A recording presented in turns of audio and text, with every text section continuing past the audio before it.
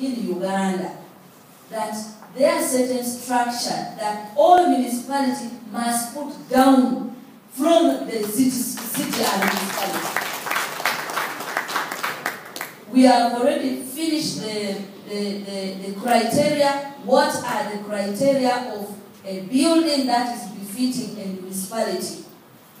And I want to challenge the physical planners of the municipality that this should not even be from the ministry.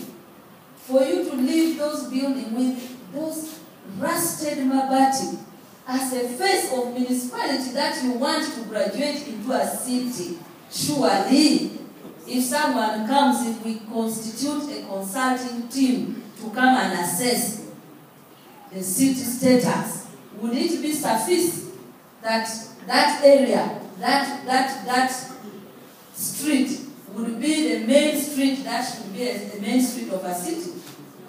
So I want to request the physical planner, the mayor, the town clerk, that start giving condition to all those who are within Obote Avenue and within the municipal council. If they are incapable of developing those buildings, let them look for partners to build those in the structure that is befitting. And I am sure you must be already having a, a structural development plan for those streets.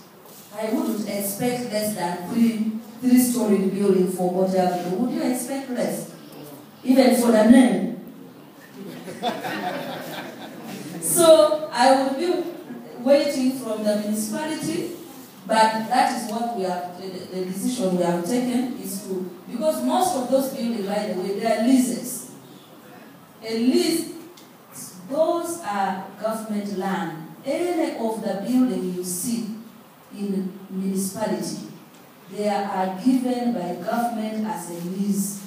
And when you are given a lease, you are given either for five years, or 20 years, or 30 years, or 49 or 99. It is not your land, it is for government. That's why government gives you terms and conditions of development of that particular land. And if you cannot develop as per the standard given by government, government has the prerogative of withdrawing the lease offered to you. So I want you to tell your people who have leases about to expire that the ministry will not accept to extend any lease that the owner is not capable of developing to a minimum of the structure that is approved by the municipal council.